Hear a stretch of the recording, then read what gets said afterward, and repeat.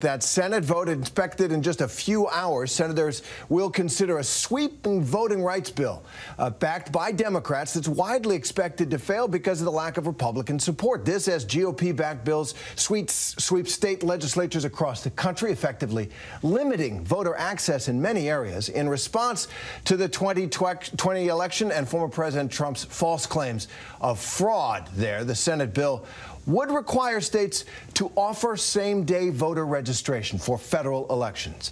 It would uh, voters would also be guaranteed the ability to register online and vote early for at least 15 days. Voting sites would have to be open for at least 10 hours per day, all aimed, obviously, at getting more people to the polls. So joining us to discuss the vote and where the battle goes from here, ABC's political director Rick Klein. Rick, so um, the Democrats have any shot at getting this bill passed with President Obama's intervention saying he supports what Manchin is doing? No. Uh, 50 votes, which they appear poised to get, uh, is an exact uh, majority when you have the tie-breaking vote, but it is not 60 votes, which is the threshold you need to break a filibuster. And this debate has not changed Senator Manchin, Senator Sinema, or maybe other senators' minds about the filibuster. This is about political positioning. Uh, they're putting their, their best foot forward. They're giving it their best effort, but there's no realistic way that this law, this bill is going to become law. Frankly, it was never going to become law, and I think the advocates around it knew it. They wanted it as primarily a messaging device and potentially as an argument to change the Senate rules. So now the argument goes out to the public because these senators have not uh, changed that position, even though Senator Manchin is supporting this bill.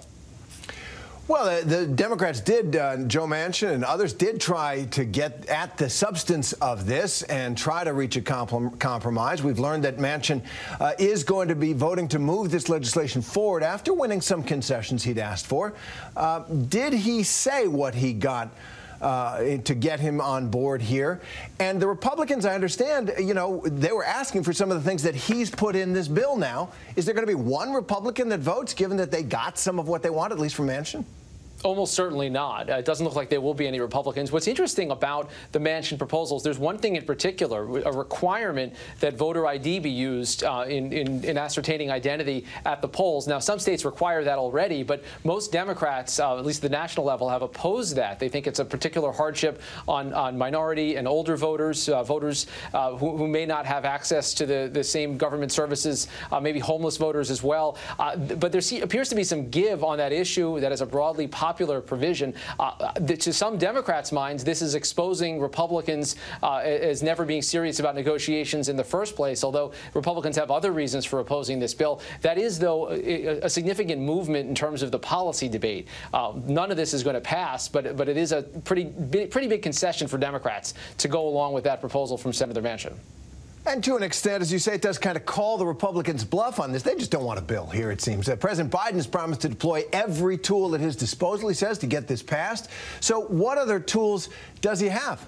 What's the next move yeah, for Democrats no, here? look, the, the, tools aren't working. What he could do is uh, is call, the, use the bully pulpit to try to get people to listen in Congress and around around the country, put more pressure on senators. Uh, he could start from scratch with a new bill. This doesn't foreclose that po uh, that possibility. There's another bill, the John Lewis Voting Rights Act, a much more modest effort that might still get traction in both the House and the Senate. Uh, he's also already empowered his Justice Department with uh, looking at some of the new voting restrictions that have been put in, particularly in Republican states, and he can he can continue to to use leverage uh, leverage powers of the executive branch in that direction. But this was the biggest priority that Democrats put forward, uh, and they have failed. And you can't take away the, from the Republican opposition the fact that much of it has been inspired by the, the doubt that was sowed in the election based on the lies that President Trump and many of his allies have told. That was the inspiration for what's happened in many states, and if not the only reason for opposing this bill, and I don't think it, it was, it certainly played a role in how Republicans view the issue of voting rights right now.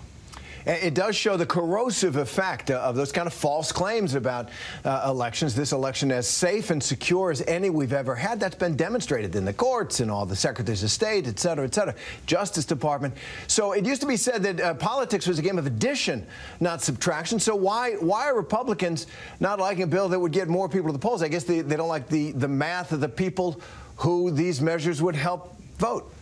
Well, one thing that they're talking about uh, quite extensively is that this bill does do a lot to to enhance the the, the ability of people to, to, vote, but it also does other things like public financing of campaigns. It also federalizes a lot of the regulations around elections. Republicans' point are that elections are run by states and they're done so for a reason. That, uh, no reason that the voting in Maine or Delaware should be exactly the same as Colorado or New York or California. And this goes a, a significant way down that road. To be honest, Terry, this was not a bill that was initially introduced with the thought that it was going to become law. As weird as that sounds, it was put forward by the Democrats uh, when they were out of power. Uh, they liked the principles. Many of them would like it to become law, but that really wasn't the initial intent in when they when they put this together. Uh, it, it became something bigger than that, and it became the vehicle for a lot of the hopes and aspirations of Democrats, particularly with Republicans going so dramatically in the other direction. And they hoped that this would expose some divisions among Republicans. That appears not to have happened.